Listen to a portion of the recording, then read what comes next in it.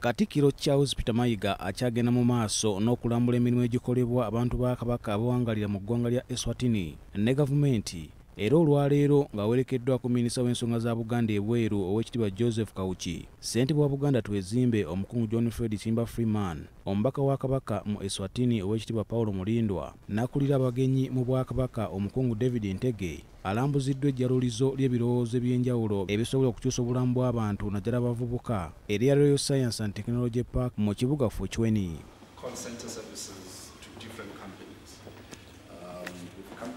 company is uh, want to take maybe four seats here, It could be for medicinal purposes or whatever uh, that it could be used. But in this case, uh, ejjalulizo lya tekinologiya lino liwa omukisa abantu b'eggwanga eryo naddala abavubuka abalina ebirowoozo eby'enjawulo ne babifumbira mu kifo kino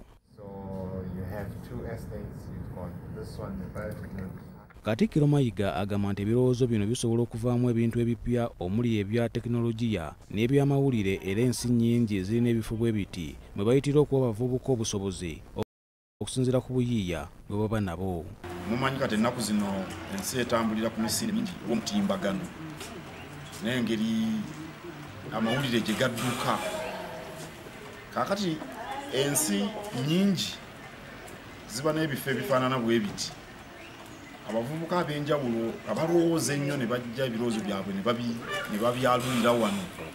Bano ne babawa obusobozi okubikolamu emirimu egya bizinesi ate emirimu egyo ne gi- ne giyamba ne- n'ensi okukula n'okuwa abantu emirimu. Bw'atyo kamalabyonna ategeezezza nti abavubuka batikkirwa ku ttendekero lya ssaabasajja kabaka ali buganda royal institute. Balina ebirowoozo bingi era beetaaga okuwagirwa kubanga bisobola okuvaamu bizinesi ez'amaanyi ezisobola okuleetera ensi obugagga n'asaba batwala ettendekero lino okutwala ekyokuyiga kino. Aba buganda royal institute ndowooza nti nno wano waliwo ebyokuyiga bingi. Naddala nga babangula abavubuka ebirowoozo bingi nnyo bye tulaba mu bavubuka abo naddala tuba tubatikkira. Twetaaga okubawagira.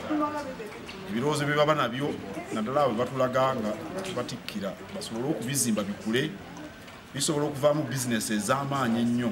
Okusinziira ku bakulira ekifo kino kyatandikibwawo king muswati owokusatu ng'ayagala abavubuka babeere bayiiya era kisobole okukyusa obwakabaka bwa eswatini mu bbanga ettono we can work together to help the continent of Africa because our idea within the Kingdom of Eswatini is not just to make sure that we develop alone, but it is to make sure that we, as brothers and sisters within the African continent, we can all develop. So we are looking forward to hosting you again, and next time we definitely have a sit down and a proper uh, presentations. paul siano mukiibi BBS Terefayna agesigika